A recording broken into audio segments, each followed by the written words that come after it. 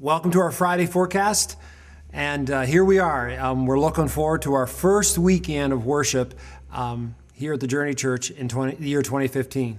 You know, I just think about the month of December. It was a busy month, but it was a good month as we had everything from carol singing to common meals to the, the children's uh, Christmas uh, special called On Frozen.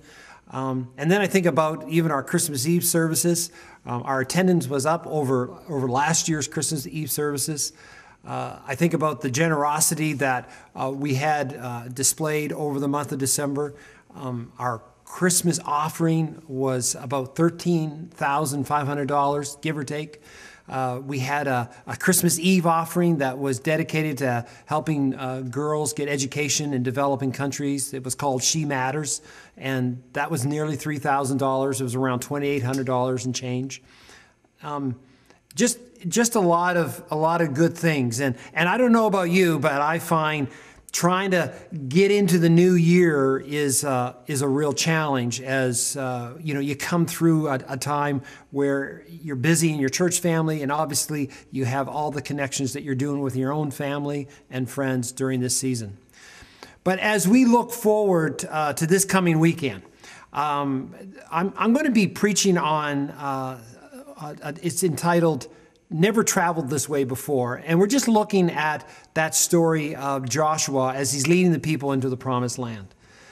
As we consider about that, um, one thing we want to do in our worship this coming weekend, and whether you come Saturday night or to our two Sunday morning services, just start to um, let God speak into your heart this way. Uh, we're going to be taking some time during our worship just to give people an opportunity to um, share with the wider congregation and say, here's where I feel uh, you know, God's asking me uh, to take a step, or where God's nudging me, or where I'm wrestling with, um, so that it can be both a time of encouragement for the wider church family and also a, a time that we can pray for you as well.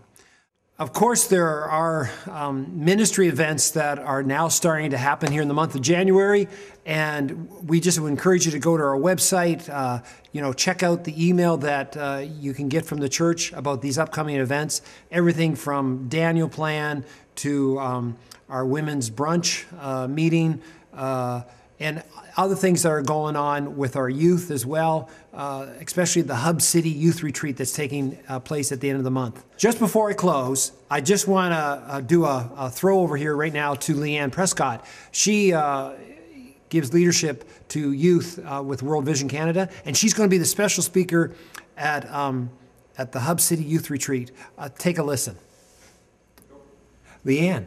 I hear that you're going to be the main speaker at uh, an event that uh, Jen and some other pastors in the city are planning at the end of the month, and it's called the Hub City uh, Youth Retreat. Uh, can you tell me a little bit more about what you're going to be doing? Yeah, I'm going to be speaking. I'm so excited. I'm going to get a chance to um, be in a room with some of the best and brightest youth from our city and talk about changing the world, talking about what God has called us to. When we, what is social justice really about? And hopefully inspire some to take a stand and to be a little bit more intentional and full of purpose when they are going to school and when they are talking to their friends about what it means to love people. Okay, young people, this is who's coming, so plan to sign up. Well, that's it for my Friday forecast.